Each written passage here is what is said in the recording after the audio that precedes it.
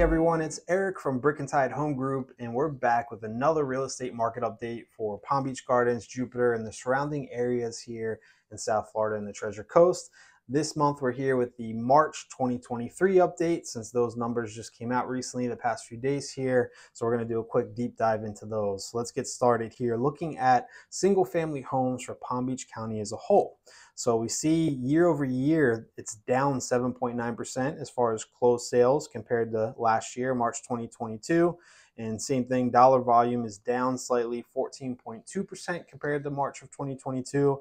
However, what I would like to point out is the trend.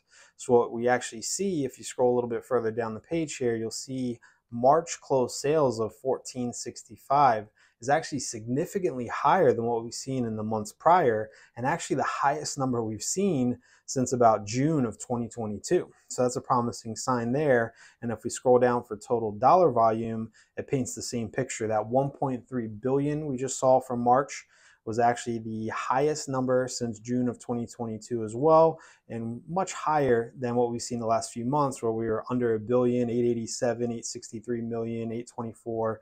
Um, so again, trend heading in the right direction. And in this past month, the increase in activity is definitely showing.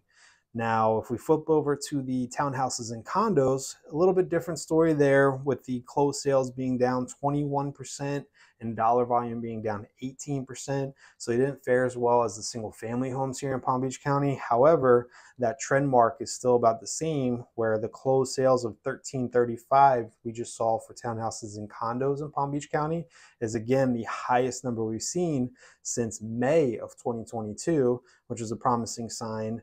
And if we uh, scroll on down to the dollar volume, same thing here, the 702 million, significantly higher than the previous months from what we've seen. And again, the highest number, the total dollar volume we've seen since May of 2022 as well. So all good signs for some of the market stabilization I think a lot of us have been experiencing or starting to sense. Now that is for Palm Beach County as a whole. For those that have watched my previous videos, you know that here in the north part of Palm Beach County, I like to actually break it down and look at North County separately. Um, so we're gonna flip on over here, look at the North County numbers. And again, it's a similar picture. So closed sales were down 8.5% compared to 7.9% as the county. And dollar volume in the north part was down 18.2% compared to being down 14.2% in Palm Beach County as a whole. So not much of a change in the north part of the county there. Um, one thing that is a little bit off as you can see in North Palm Beach County, the percent of list price received was down at 92.9% for single family homes versus the 94.8 that the rest of the county saw. Um, and that's you know something that we'll talk about a little bit here further as we dive into the Palm Beach Gardens and Jupiter areas specifically. Now looking back at the north part of the county townhouses, Similar picture, closed sales were down 28%. Dollar volume was down 23%, very similar as the county as a whole, which was down 21 and 18 uh, respectively. Um, and then if we go ahead and take a look at the total market as a whole, both single families and townhouse and condos combined for North Palm Beach County, um, you can see the total market overview. Closed sales were actually down 19% compared to last year and dollar volume was down 19.9 basically 20% compared to last year. So even though there's been some promising signs there's still a little bit of a lag uh, compared to our percent change versus march of 2022 now looking a little bit further here locally we're going to dive into the cities. So if we take a look we'll start out with palm beach gardens. So palm beach gardens has a quite a different picture going on so closed sales for single family homes in Palm Beach Gardens was actually up 42% year over year. So a substantial difference from the rest of the county. However, average sales price was also down 28%.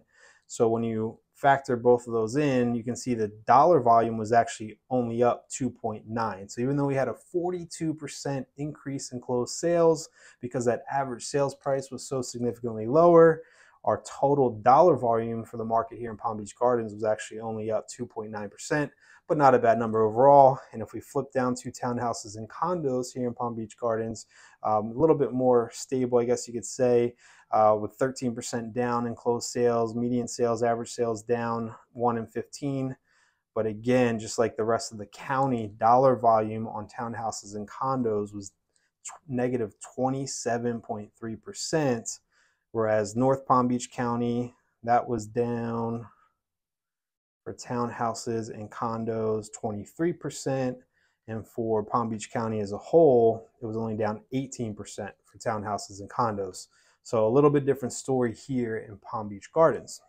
The other thing that I would like to point out about Palm Beach Gardens locally here is that percent of original list price received was actually at 92.5% for single family homes again versus the county which was at 94.8 that's a significant change and that's why when you look at this median time to contract palm beach gardens is actually 50 days median time to contract versus the county at 31 days. So the homes are taking a lot longer to sell here locally in Palm Beach Gardens, hence why this monthly supply of inventory is also at 4.2 versus the 3.2 that we're seeing at the county level. And that's because we're just not pricing homes properly from the start. Uh, so we need to get better at that, agents, and, and making sure our sellers are being realistic with that original asking price. Now, if we flip on over to Jupiter, Jupiter had a little bit stable month with closed sales only up 5%.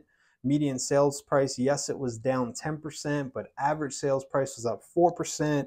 So all single digits there pretty much. And then overall dollar volume was actually up 10.2 because of that increase in activity, which is great. However, we're still seeing the same thing in Jupiter as we are in Palm Beach Gardens with that percent of original list price received down at 92.2% and again, that median time the contract at 50 days.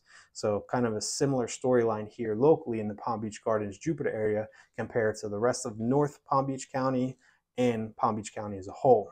Now, of course, these are just a quick few highlights on the areas locally and that is the city view. We all know that each city has a few different zip codes. Of course, you got to dive down locally into the different zip codes as well as the actual different neighborhoods and communities within each zip code. Um, so just looking at a quick few of those, you can see here in Palm Beach Gardens 33410, closed sales were up 50%, active inventory up 242%. So major increase there. And if we switch on over to another zip code in Palm Beach Gardens, which is 33418, you can see the numbers start to change a little bit. Closed sales weren't up nearly as high, only up 20%. However, same storyline with that active inventory up 251 days. If we flip on over to Jupiter, 33458, which is a big part of Jupiter area, you can see closed sales, they were up 5%, while the average sales price was down 15%. But again, active inventory 115% up from a year ago. So those are all promising signs there. But if we switch on over to 33477, for example, which has a lot of townhouses and condos in that zip code, again, we can see some differences. You can see that the uh, average sales price was up 34%, the active inventory was up 64%. That's all good news there. But look at this median percent of original list price received way lower than any other area that we've seen throughout Palm Beach County thus far, down to 89.6% median percent of original list price received in zip code 33477.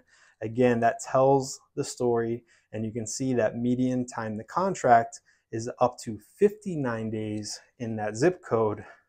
That's why agents, realistic sellers got to do a better job pricing the homes properly based on today's market and putting better pricing strategies in place. So hopefully you got a little bit something out of this video. Again, this shows you how localized real estate can be. So all the different uh, neighborhoods, all the different cities, all the different parts of the county, they can all change drastically. And that's why it's important to partner yourself with a local economist of choice that can sift through the data, give you the real transparent facts, and let you know the truth about where the market's heading, where it's been, and no fluff, just black and white, looking at the data and making you know smart decisions based off what the numbers are telling us. So if you have any questions, you'd like to uh, sit down for a consultation, please reach out to us. Brick and Tide Home Group 561 886 8921. Take care.